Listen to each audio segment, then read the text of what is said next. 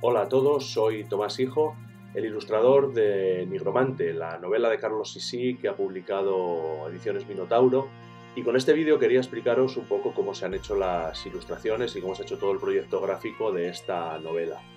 Ahora mismo estáis viendo imágenes de las cubiertas. Si habéis visto el libro y lo tenéis en vuestras manos, veréis que seguramente en la versión final han ganado muchísimo porque eh, el equipo de diseño del editorial ha decidido que estas cubiertas tengan relieve y por tanto que se parezcan lo más posible al formato original en el que han sido creadas, que es un formato un poco inusual para este tipo de trabajos como es el grabado en línea.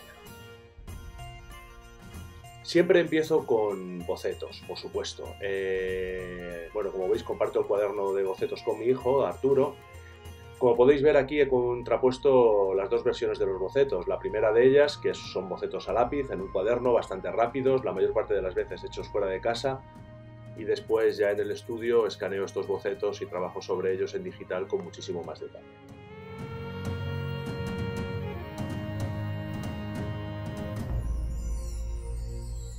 Eh, una vez que tengo los bocetos hechos, los transfiero a la plancha de linóleo y empiezo a tallarla. Como cuando he ido a hacer este vídeo ya tenía las planchas talladas, he decidido explicaros cómo se hace el proceso de talla con una imagen nueva, eh, que va a ser además una sorpresa para el autor del libro.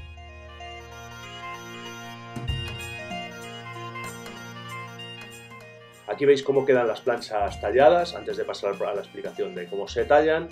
Y como podéis ver, eh, la verdad es que el resultado ya en esta fase es bastante chulo. Todavía las planchas tienen que estamparse, tienen que seguir un cierto proceso, pero digamos que en esta parte lo que hemos hecho ha sido eh, utilizar esas herramientas que hemos visto antes, esas gubias, que son unas herramientas de corte muy precisas y que permiten hacer unas incisiones, como podéis ver, que son muy finas y que permiten un rango muy grande de líneas y de expresión en el dibujo. Como podéis ver, he intentado en todo momento mantener el grado de detalle al máximo y esto ha sido gracias a que he podido trabajar muy estrechamente con Carlos Sisi en la elaboración de las ilustraciones y que ha estado disponible en todo momento para cualquier cuestión que yo le preguntaba, para proporcionarme cualquier detalle, cualquier información y por supuesto las minuciosísimas descripciones que me escribió de cada una de las imágenes.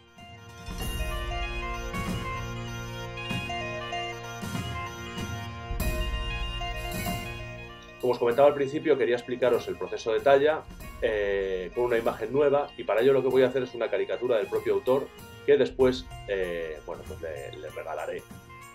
En este caso estoy dibujando directamente sobre la plancha, aunque como os he dicho antes, lo que suelo hacer es eh, hacer un boceto en papel, luego uno digital y después transferirlo.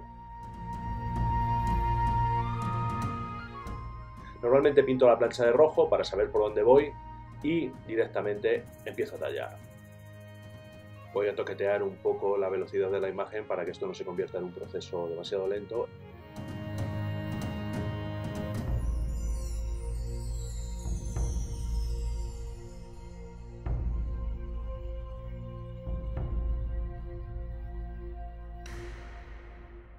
Bien, pues ya tenemos la plancha prácticamente terminada, probablemente no sea mi mejor caricatura, pero vamos a empezar a estamparla. Una vez tallada la plancha, la primera cuestión que hay que afrontar es el entintado y por medio de este rodillo se aplica la tinta eh, procurando que las partes que sobresalgan quedan impregnadas y las partes rehundidas queden limpias. Hay que mojar el papel, después secarlo, como podéis ver es un proceso bastante laborioso y después cada una de estas planchas que habéis visto antes, en este caso vamos a utilizar la de Carlos, se estampan en esta prensa de rodillo llamada tórculo que para que os hagáis una idea aplica 1000 kilos de presión lineal sobre el papel. Aquí tendríamos el grabado estampado y listo para ser escaneado, que sería la fase que vendría después. En este caso no voy a escanear nada, sino que voy a dejar esto tal y como está y se lo voy a regalar a mi querido Carlos. Carlos, va para ti. Y por fin aquí tenemos las estampaciones definitivas sobre las planchas que vimos antes. Como podéis ver hay alguna que está duplicada porque a veces la estampación no sale como uno quiere. Y otra cosa que hay que destacar es que algunas de ellas presentan algunas manchas o no están cortadas eh, o centradas sobre el papel con las dimensiones eh, definitivas. Lo cierto es que como estas ilustraciones se van a escanear y tratar digitalmente, pues no me preocupe mucho por eso. Aquí nos encontramos de nuevo con el Capitán Clavijo, que es esta ilustración que tuve que repetir, y como podéis ver, gracias a los mil kilos de presión que hemos metido con esa prensa que hemos visto antes, las ilustraciones adquieren un efecto muy interesante y muy agradable estéticamente que se llama gofrado y que es este relieve que veremos en todas las ilustraciones del libro. En las interiores simplemente lo apreciaremos visualmente, pero en las cubiertas lo veremos de forma real gracias a un proceso llamado golpe seco. Como os dije antes, Carlos aportó mucha información y mucho apoyo para todas las ilustraciones y ahora veremos ya el Capitán Clavijo versión 1, la versión descartada cuya plancha, como veis, aproveché para crear los iconos que irán en los capítulos.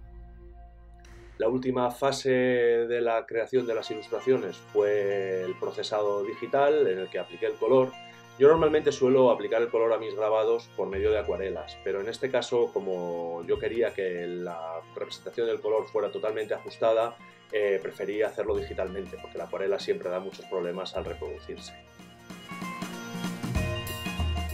Espero sinceramente que esta propuesta gráfica sea de vuestro agrado y que disfrutéis mucho de las ilustraciones y por supuesto de esta magnífica novela de Carlos Sisi. Un abrazo para todos y hasta la próxima.